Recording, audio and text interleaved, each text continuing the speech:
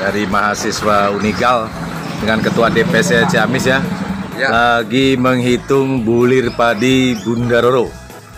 Kita hitung sama-sama capai berapa bulir.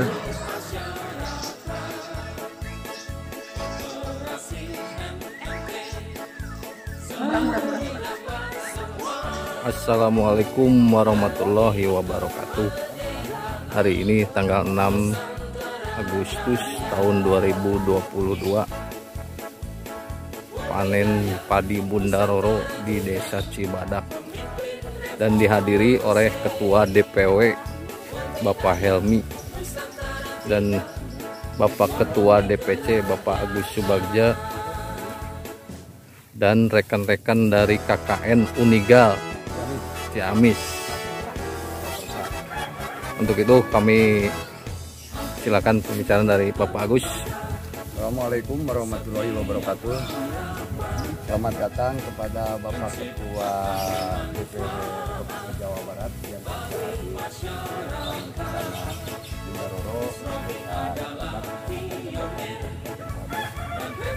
lupa terima kasih kepada eh, adik-adik KKN Kabupaten Liga Inilah mungkin kami berangkat dari Umum Gus Robi yang berada di Surabaya. Kami lewat dengan Koperasi NMP 3. Nah mudah-mudahan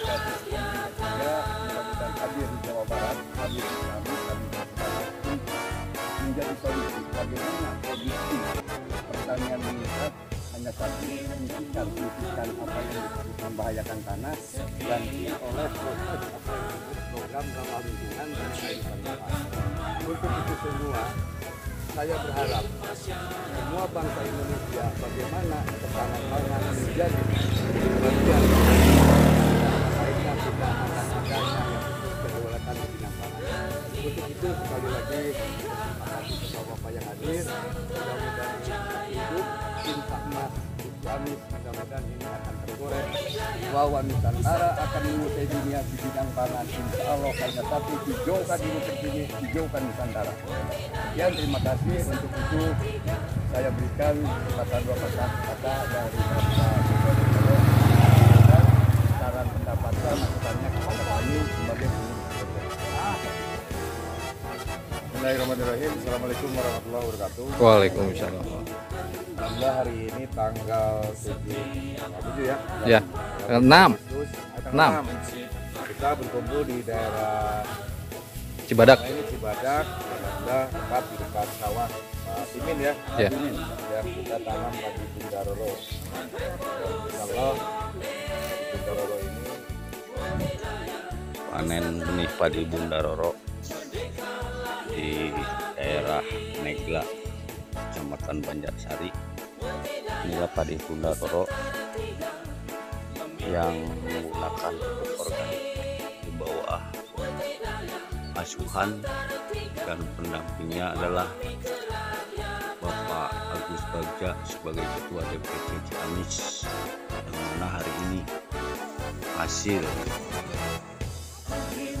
partisipasi beliau sudah membangun membangkitkan organik di wilayah Kabupaten Ciamis, Jawa Barat sudah menuai hasil yang sangat memuaskan.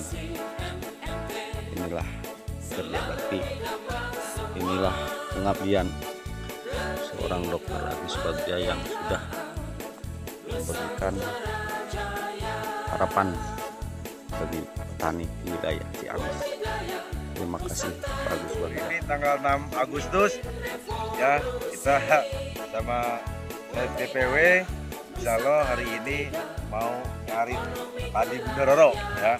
Ini langsung dengan sekretaris DPW luar biasa ini karena beliau kita buktikan beliau asli petani atau bukan ya. Kita saksikan sama-sama. Dekat lebih dekat. Ya lebih dekat. Ini Bismillahirrahmanirrahim. Kali pertama ngarip Bunda luar biasa ini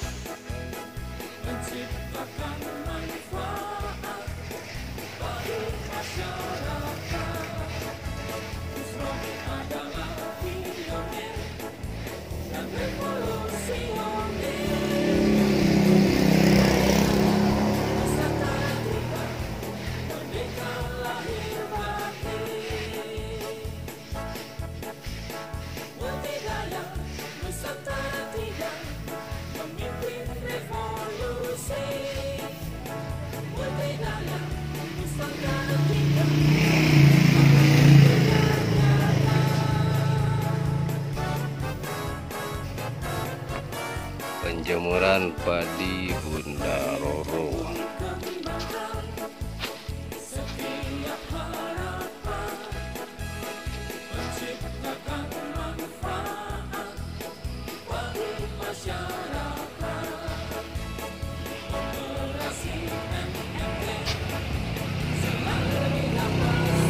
Panas-panasan penjempuran padi Bunda Roro.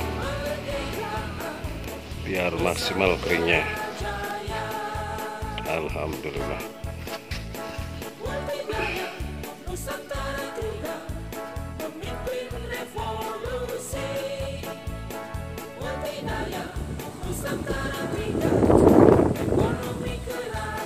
Itu melaporkan dari Mariung Sari sedang panen untuk padi Bunda Roro. Oke, kita akan cek hasilnya nanti. Terima kasih.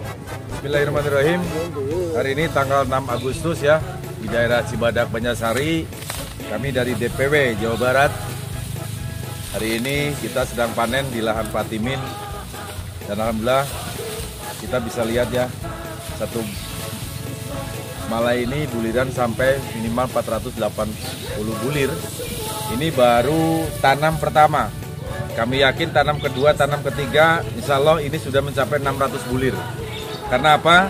Karena kami punya microbalizer yang mana untuk mengembalikan bumi pertiwi diakibatkan selama ini pakai kimia.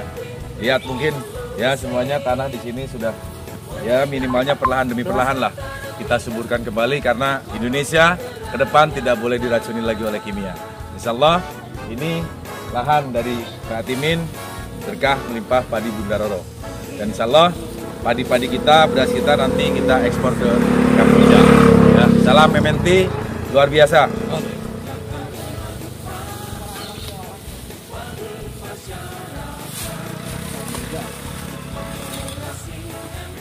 Ya semuanya tanah di sini sudah ya minimalnya perlahan demi perlahan lah kita suburkan kembali karena Indonesia ke depan tidak boleh diracuni lagi oleh kimia. Insya Allah ini lahan dari Pak Timin berkah melimpah padi Bunda Roro.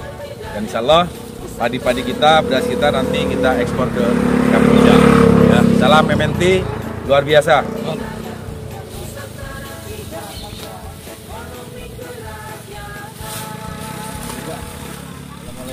Warahmatullahi wabarakatuh. Bersama saya Ambang Desa Tarikolot Kecamatan Palasah Kabupaten Majalengka Melaporkan dari lokasi penanaman benih Bunda Roro. Ini usia 6 hari ya Yang kemarin pernah dikontrol sama Ibu Iin bersama Abah. Uteng Nah besok insya Allah perdana penyemprotan obat dari air rendaman benih tersebut. Luar biasa. Saya selalu setiap hari di mana ada waktu luang menyatu dengan benih Roro selalu dengan penuh kasih sayang kita menyatu dengan alam karena memang beda dengan benih-benih yang lain kalau benih Bunda Roro itu harus dengan keikhlasan hati ketulusan juga perlu dimanjakan supaya eh, benih Bunda Roro ini bisa tumbuh dengan baik, dengan sehat, ceria, biarkan alam yang berbicara. Terima kasih demikian melaporkan dari Desa Tarikolot, Kecamatan Palasa, Kabupaten Majalengka bersama Ambang.